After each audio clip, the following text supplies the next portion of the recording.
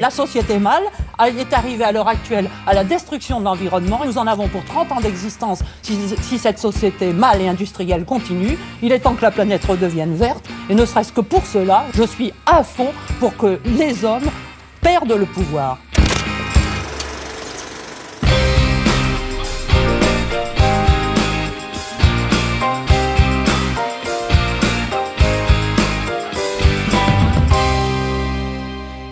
L'écoféminisme est un terme inventé par Françoise Daubonne en 1974. Au-delà de la contraction des mots écologie et féminisme, le terme crée une analogie entre la destruction de l'environnement et l'oppression des femmes, chacune reposant sur un système de violence et de domination. L'écoféminisme s'attaque à la fois au capitalisme, qui repose sur l'exploitation des ressources naturelles et de la main-d'œuvre, autant qu'au patriarcat, qui instaure une hiérarchie des genres et une verticalité des pouvoirs. Tout ce qui entrave la croissance et les profits est à proscrire. Et quand c'est une femme, c'est une cible de choix. Prenons l'exemple de Rachel Carson, dont les recherches scientifiques se sont heurtées à l'industrie pétrochimique. Et devinez qui a gagné? Monsanto. Tout juste. Alors l'histoire se passe aux États-Unis dans les années 60. Rachel Carson, brillamment diplômée en biologie, zoologie, génétique et autrice à succès, retourne dans son village. Et là Il y avait un étrange silence dans l'air. Je me suis demandé où étaient passés les oiseaux. Qu'est-ce qui avait réduit au silence les voix du printemps? Pas seulement ici, mais dans d'innombrables villes américaines. C'est alors qu'elle entreprend une étude scientifique sur la disparition de la biodiversité et très vite, elle pointe du doigt l'utilisation massive de pesticides. Notamment ce produit est vendu par Monsanto. Les conséquences étaient visibles, quantifiables, autant sur la biodiversité que sur les humains. Mauvais pour la santé des cultivateurs, mauvais pour les sols, les rivières, et cela se répercute sur les cultures et donc sur notre nourriture. Il fallait que ça se sache. Vous sortez donc votre quatrième ouvrage, Silent Spring, en 1962, et vous choisissez une forme poétique. Oui. Je voulais que ces problématiques scientifiques soient accessibles au plus grand nombre, pour que chacun puisse se les approprier. Mais voilà, on ne s'attaque pas à un géant coté en bourse avec des pâquerettes et des éprouvettes. Le lobby est très puissant, mais redoute la sortie du livre. C'est alors une véritable cabale. Ils ont lancé contre moi une campagne de dénigrement à travers tout le pays et ont tourné mon travail en dérision. Décidément, quand il s'agit de pourrir les campagnes, on peut compter sur Monsanto. Ils m'ont traité d'agent du KGB, de lesbienne. Mais aussi de défenseur fanatique du culte de l'équilibre de la nature. Ou encore, et c'est un classique, de femelle hystérique et émotive. Évidemment. Malgré les calomnies, ces recherches finissent par convaincre et aboutissent à l'interdiction du DDT aux États-Unis, un produit nocif pour diverses espèces qui se bioamplifient tout au long de la chaîne alimentaire. L'homme fait partie de la nature, et la guerre qu'il mène contre la nature est inévitablement une guerre contre lui-même. C'est d'ailleurs ce que clame encore aujourd'hui à travers son travail et son engagement Vandana Shiva, physicienne, philosophe des sciences et militante écoféministe. Les écologistes font monter la pression. Leur chef de file, c'est Vandana Shiva, la fondatrice de l'ONG Navdanya. Depuis 20 ans, cette femme mène la fronde contre le génie génétique et les multinationales de l'agroalimentaire. Le paysan indien aujourd'hui est totalement désorienté. Parce qu'au lieu d'utiliser ses 10 000 ans d'expérience agricole, au lieu d'avoir le soutien public des universités et de la recherche publique, la seule information qu'il reçoit, c'est la publicité des multinationales, des Monsanto en tout genre. Une propagande basée sur le mensonge. La pression du modèle agricole, des OGM, des produits chimiques, du libéralisme défini par l'Organisation mondiale du commerce, c'est ce qui détruit les paysans, ce qui fait que 25 000 d'entre eux se sont déjà suicidés. C'est pour ça que 5 millions de fermiers quittent chaque année l'agriculture. C'est un fardeau que ce pays ne peut plus supporter. 60 ans après Rachel Carson, il est toujours nécessaire d'informer pour protéger les agriculteurs comme les consommateurs. L'obligation de subir donne le droit de savoir. Et de se défendre. Wangari Maathai naît en 1940 à Nyeri, au Kenya au sein d'une famille paysanne de l'ethnie Kikuyu. En 1971, vous obtenez un doctorat en biologie, ce qui fait de vous la première femme d'Afrique de l'Est et d'Afrique centrale titulaire d'un doctorat. Dans cette partie de l'Afrique, ce sont les femmes qui sont les premières victimes de la dégradation de l'environnement, car ce sont elles qui vont chercher l'eau. Donc, s'il n'y a pas d'eau, elles marchent pendant des jours. Ce sont elles qui vont chercher le bois de chauffage. Ce sont elles qui sont en charge de la nourriture pour leur famille. En 1977, elle crée le plus vaste projet de reboisement du continent africain, The Green Belt Movement. L'objectif est de prévenir la déforestation et l'érosion des sols qui sont des facteurs de sécheresse et de pauvreté. Plus de 4000 pépinières ont été créées rien qu'au Kenya, fournissant du travail à près de 100 000 personnes. Dont une majorité de femmes afin de leur offrir davantage d'autonomie. Elle fera planter plus de 50 millions d'arbres. Très vite, les hommes aussi se sont rendus compte que planter des arbres, c'est un très bon moyen d'améliorer la qualité de la terre et donc sa valeur. Et quand il s'agit de profit, étonnamment, tout le monde se réveille avec une conscience écologique.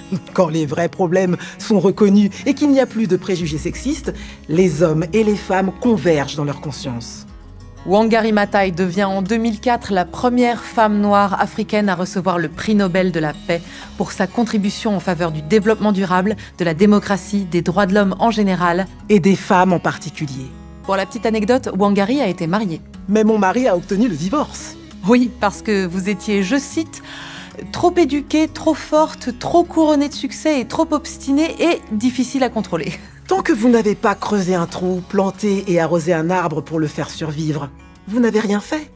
Vous n'avez que parlé. Il y a donc celles qui plantent des arbres et celles qui empêchent qu'on les coupe. C'est le cas notamment du mouvement Chipko, créé dans les années 1970 dans la région himalayenne de Garhwal.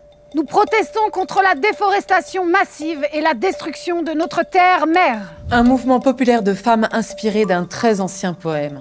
Embrasse nos arbres, empêche-les de tomber, le domaine de nos montagnes, sauve-le de la déprédation. Une idée aussi simple qu'efficace mais qui reste dangereuse. Nous enlaçons les arbres pour nous opposer à leur abattage. La première action notable du mouvement Chipko a eu lieu en 73 lorsque les habitantes du village de Mandal se sont opposées physiquement aux ouvriers. Ils étaient venus abattre 300 frênes équipées de tronçonneuses. Elles n'étaient équipées que de tambours, mais en voyant leur détermination, ils ont rebroussé chemin. Cette forêt est la demeure de nos mères. Nous la protégerons de toutes nos forces. Leur corps comme rempart face à la dégradation écologique de la région. Si vous voulez les abattre, abattez-nous d'abord. Parfois, elles ont dû faire face à leur propre mari qui travaillait au déboisement. Mais ça ne change rien. Un jour, l'un des hommes leur a dit Savez-vous ce que donne une forêt? Elle produit des bénéfices de la résine et du bois. Mais la réponse fut sans appel. Ce que donnent les forêts? Elles donnent de l'eau, De la terre. et de l'air pur. elles nourrissent la terre-mère et tout ce qu'elles donnent.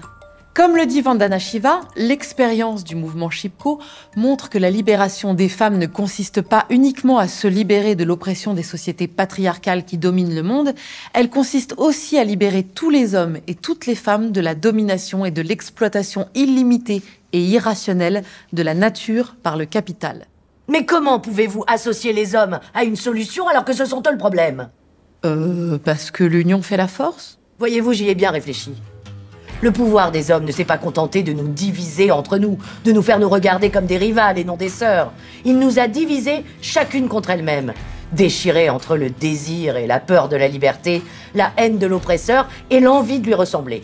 Françoise Daubonne, donc romancière, philosophe Féministe, et inventrice du terme écoféminisme qu'elle emploie pour la première fois en 1974 dans son livre le féminisme ou la mort? Françoise Daubonne analyse les raisons qui ont conduit les femmes à être exclues du pouvoir politique.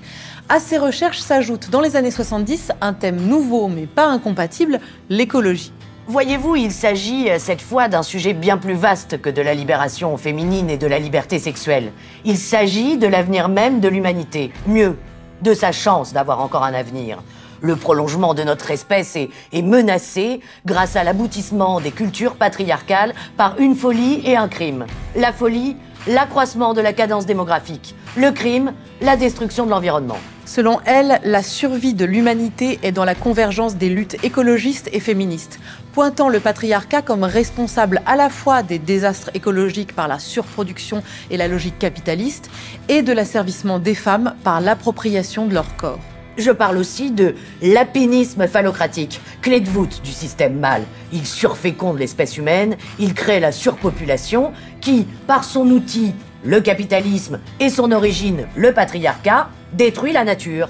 Pour l'abolir, une seule solution, que les femmes reprennent en main la démographie et donc le contrôle de leur ventre. Le contrôle démographique doit revenir entièrement aux femmes. Il ne s'agit pas là d'un retour par la bande, d'une supériorité quelconque, mais d'un simple équilibre destiné à compenser le handicap de la grossesse et de la parturition. Françoise Daubonne crée alors un véritable projet de société écologique, égalitaire, pacifique et autogestionnaire. Une société enfin au féminin qui serait le non-pouvoir et non le pouvoir aux femmes. En somme, prendre le pouvoir aux hommes pour le faire disparaître. Face au capitalisme, dernier stade du patriarcat, responsable de la négation et de la mort du vivant, j'en appelle à une mue féministe de l'humanité. Sinon quoi? C'est l'espèce tout entière qui succombera. Avec ses mots crus et son franc-parler en héritage, Françoise Daubonne nous pousse à réfléchir à une réharmonisation de la société. Je lègue la haine irréductible d'une société plus immonde que toutes celles qui l'ont précédée. L'amour des hommes et des femmes qu'elle broie et dégrade de toutes les façons et à tous les niveaux. L'amour de l'environnement à ressusciter s'il est encore possible. Et le soin de continuer la lutte contre le pouvoir patriarcal et impérialiste que mes dernières forces seront employées à maudire et mes derniers écrits à combattre. À l'initiative de femmes courageuses à travers la planète qui s'opposent à un système qui les opprime tout en détruisant l'écosystème, un mouvement spontané est apparu avant même qu'on puisse le nommer. L'écoféminisme incarne à lui seul un bouleversement sociétal, une transformation de nos modes de consommation et un renversement des pouvoirs au profit d'un équilibre plus juste, que ce soit au sein de la société comme pour la sauvegarde de l'environnement. Cette convergence des luttes, qui semble si compliquée à comprendre, reste somme toute assez logique. Il y a un esclavage. L'homme a opprimé la femme depuis 3000 ans avant Jésus-Christ. Et à l'heure actuelle, il est obligé évidemment de faire des concessions parce qu'il est arrivé un si invraisemblable bordel, excusez l'expression, qu'il est obligé de demander à la femme de réparer un petit peu l'excès des bêtises qu'il a faites. Mesdames, Et on appelle ça l'émancipation. Laissez-moi arriver.